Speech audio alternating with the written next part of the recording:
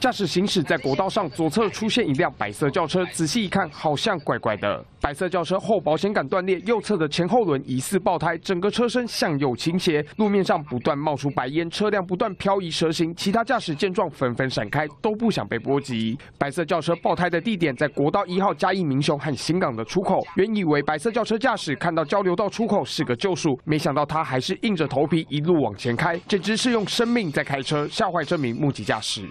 女性女性驾驶散发出明显酒味，经原警现场实地酒测后超过法定标准值，全案依公共危险罪移送嘉义地检署侦办。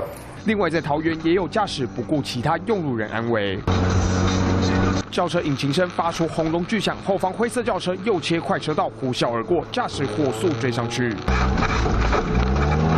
路口红灯已经亮起，没想到两辆车都直闯路口。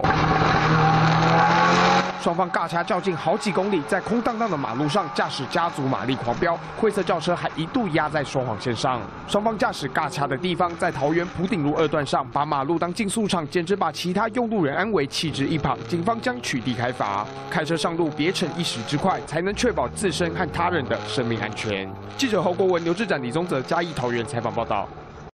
我是张妹子，播报新闻让我增广见闻，家事国事天下事，事事关心，也带你一起掌握每日时事，与时俱进，所有最新消息、热门话题都在中视。当然，更多新闻请锁定中视 YouTube 频道，记得按赞、订阅、分享、开启小铃铛。